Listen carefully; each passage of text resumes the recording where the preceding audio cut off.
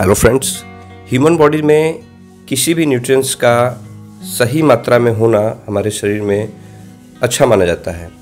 यदि किसी न्यूट्रिएंट्स का हमारे शरीर में कमी हो गया तो बहुत सारे डिज़ीज़ होने लगते हैं, या उस न्यूट्रिएंट्स का ओवरडोज हो गया, उसकी कमी को पूरी करने के लिए यदि हम उसको ज़्यादा मात्रा में यूज़ कर लेते हैं तो भी हमारे शरीर के लिए काफ़ी हार्मफुल माना गया है। ऐसे में हम एक पोषक तत्व जो कि ओमेगा थ्री के नाम से जाना जाता है, इस पोषक तत्व के बारे में बात करेंगे। दोस्तों, ओमेगा थ्री जो होता है, ये हमारे बॉडी में, शरीर में, हार्ट को, बोन्स को, यहाँ तक कि आइज़ को, स्किन को, हेयर को, इन सभी के लिए काफ़ी अच्छा पोषक तत्व माना जाता है। आज की वीडियो में हम बात करेंगे कि एक नॉर्मल पर्सन और एक एथलीट पर्सन को कितने एमजी इसको यूज़ करना चाहिए ओमेगा थ्री को। तो यदि आप सामान्य जीवन शैली जीते हैं तो ओमेगा थ्री के जो डोज हैं, वो 700 से लेके 1000 हज़ार तक आप इस्तेमाल कर सकते हो। और यदि जिम वगैरह जाते हो, एक एटलीस्ट पर्सन हो तो आपको इसे कम से कम 1500 सौ तक तो इस्तेमाल कर लेना चाहिए। दोस्तों ओमेगा थ्री जो है, ये फैटी एसिड होता है और ये हमारा बॉडी खुद ब खुद नहीं बना पाता है। इसलिए इसे बाह्य स्रोतों से हमें लेना बहुत ही आवश्यक होता है। ये हमारे शरीर के लिए काफ़ी महत्वपूर्ण पोषक तत्व है। ओमेगा थ्री के जो स्रोत हैं वो दो तरह के स्रोत हैं एक वेज और एक नॉन वेज वेजिटेरियन में आपको नट्स हो गए अखरोट हो गए अलसी हो गया ते, तेल वगैरह हो गया जैसे सरसों का तेल हो गया मस्टर्ड ऑयल हो गया और सब्ज़ियाँ हो गए जैसे फूल गोभी हो गया या मटर हो गया बीन्स हो गए।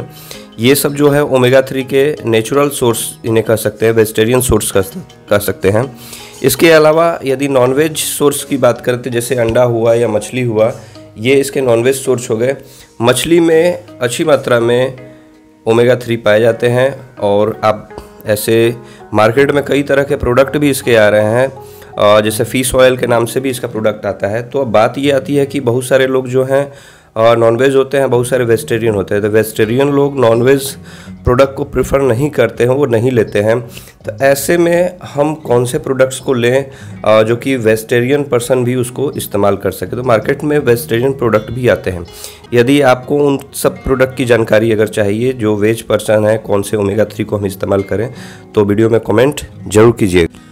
फ़िलहाल तो किसी भी मेडिसिन किसी भी फ़ूड सप्लीमेंट का ओवरडोज होने से बचना चाहिए।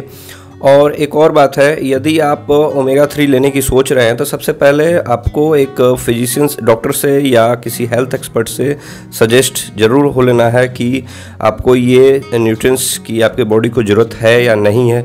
ऐसा ना हो कि आप कोई वीडियो देख रहे हैं हाँ वीडियो से काफ़ी एक्साइटेड होकर उस प्रोडक्ट को इस्तेमाल करना एकदम से चालू कर दे। ऐसा नहीं करना है। आपको सबसे पहले किसी हेल्थ एक्सपर्ट से एडवाइस ले लेना है कि क्या आपको उस न्यूट्रिएंट्स की सही में ज़रूरत है आपके बॉडी को या या नहीं है।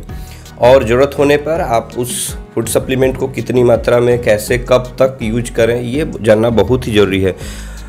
आपके शरीर में किस न्यूट्रिएंट्स की कमी है, इसको जान, ये जानना तो ज़रूरी है, साथ ही साथ उसको कितनी मात्रा में और कितनी दिनों तक उसको आपके बॉडी में उसको यूज़ कराना है, इसकी भी जानकारी होनी बहुत ही आवश्यक है। क्योंकि जितना नुकसान कमी होने पर होता है, उससे कहीं ज़्यादा नुकसान उस न्यूट्रिएंट्स का ओवरडोज होने पर होता है। इसलिए ओवरडोज लेने से किसी भी न्यूट्रिएंट्स के लिए बचें। तो दोस्तों, ये एक छोटी सी जानकारी थी ओमेगा थ्री से रिलेटेड आपको वीडियो कैसा लगा कमेंट करके ज़रूर बताइएगा। वीडियो यदि अच्छा लगा हो तो वीडियो को एक लाइक ज़रूर कीजिएगा और अपने दोस्तों के बीच में इसे शेयर ज़रूर कीजिएगा। जो दोस्त नए हैं प्लीज़ चैनल को सब्सक्राइब कीजिएगा बेल आइकन को प्रेस कीजिएगा, ताकि समय समय पर जब भी मैं न्यू अपडेट्स अपलोड करूँ यूट्यूब पर तो आप तक सबसे पहले पहुँचे। फ़िलहाल दोस्तों, मिलते हैं नए वीडियो और नई जानकारी के साथ। धन्यवाद।